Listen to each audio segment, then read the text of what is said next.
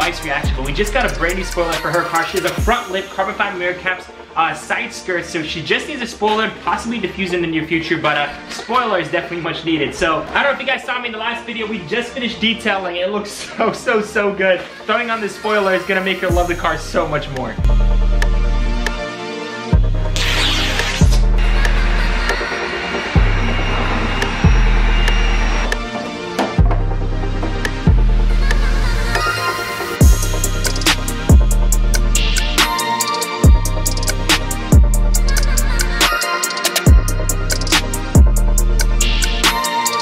Guys, I did go with a different style. Reason being is that I always go with the higher kick. Honestly, this lower kick doesn't look too bad. It's pretty subtle. My wife doesn't want something too crazy in the rear, mainly because honestly, if it was her choice, she would have a massive spoiler in a small little wing. So her dream is honestly have a big old spoiler. She absolutely loves that. So good. It does look really good. Guys, it looks super, super, super good. And uh, this just reminds me. So we got something for my wife's car. Um, we're gonna have to do something for my boy Orlan because I actually ordered something for my uh, 335 IS. We ended up selling it, as you guys know. So um, my boy Orlan loves his N54. And Burger Tuning released these new like air cans that look so, so, so sick. The vacuum canisters. So uh, yeah, Burger Tuning released those. It looks super sick. So I wanted to cop myself one. But by the time it got here, um, because it was like on pre-order or something, we ended up selling the 335 IS. And I decided to keep them because you never know. Probably end up getting one of those down the road. Or, you know, my boy Orlan really deserves this. So I'm to go ahead and install it because he's actually to let me borrow his car later today. And he's actually to be taking my car for a day. So we're pretty much trading cars for a day. And uh, yeah, I'm gonna let him enjoy the F80, and in the meantime, while I have his car, I'm actually gonna install a new mod for him. So uh, I'll catch you guys tomorrow when I actually do that.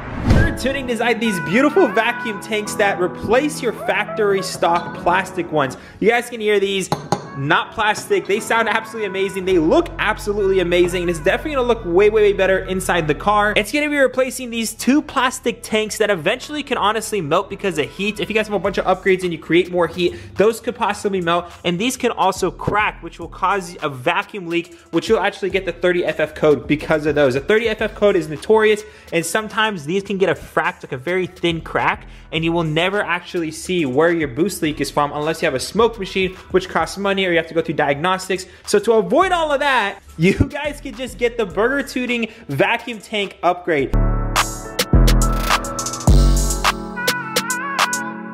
And just like that, guys, that is the after. That just looks so, so, so much better. And now we do not have to worry about any more vacuum leaks that could possibly come from these um, if they eventually crack or they eventually melt or anything like that because these are not plastic. All right, bro, check it out, check it out. Check what's underneath the hood, dude. Got you a fresh little toy for the 30FF codes.